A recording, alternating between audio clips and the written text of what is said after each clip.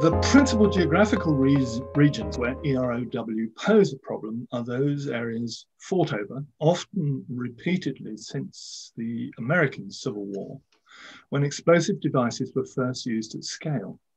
And this means essentially the First World War theatres, as you can see on the left, and parts of Spain and Manchuria, and of course, all the conflict theatres of the 1939 45 war.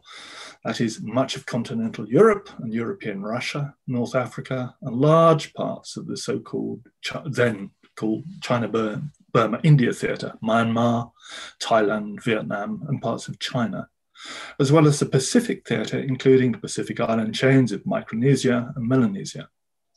Post war conflicts, sadly, include Suez and parts of the Middle East, the Indochina region, including once more Vietnam, Laos, you can see in the middle there a threat map of it, Cambodia, and more recently the Falklands, which has just been declared mine free, Afghanistan, and since the collapse of the Soviet Union, Chechnya, parts of the Arabian Gulf, former Yugoslavia, Ukraine, bits of the Lebanon, and most recently Syria and parts of Libya.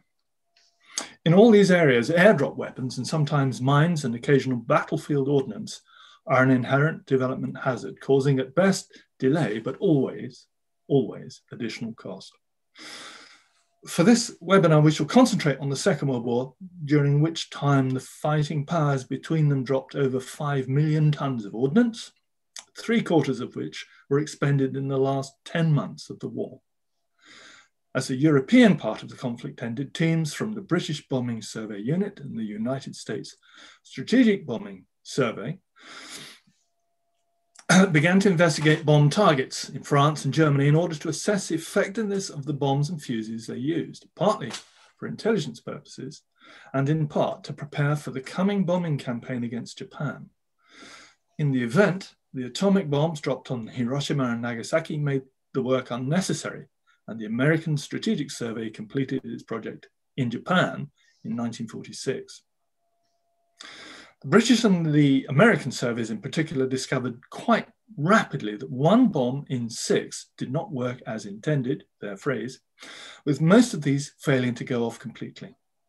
With some 15% of these bombs failing, and of these perhaps a quarter still undiscovered, we may be looking at uh, something like 750,000 remaining unexploded bombs, most of which fell in Europe. Looking at UK statistics, we know some 75,000 tons were aimed at UK targets. And of this total, it is estimated that as many as one in 10 bombs dropped did not explode as intended. And of these, again, one may calculate about a quarter remain undiscovered. So anything up to 7,500 bombs remain. On average, in Britain, some 60 airdrop bombs are recovered a year, according to the Ministry of Defense, as opposed to the hundreds found in Germany. Now, assuming that we recover these at a constant rate in the UK anyway, it will be well over a century before they're all cleared. But there is one fly in the ointment, as it were. As, as time passes, some types of bomb are becoming more dangerous. These are bombs with time delay fuses, and you can see a cross section of one in the center. These were designated to explode any time up to a week after they struck the ground. Now, in mainland Europe, one or two of these now explode every year, quite spontaneously and one, if not both, are usually somewhere in Germany. And there's a, an image on the right showing uh, one um, in a field. And the reason is that components in these complex fuses are failing and leading to spontaneous explosions, as I mentioned.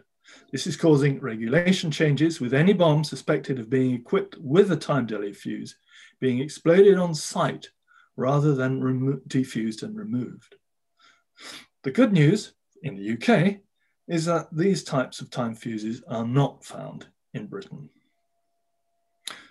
From such statistics, it's clear that in many parts of Europe, the chance of encountering a dud bomb from the Second World War during a construction project is not negligible.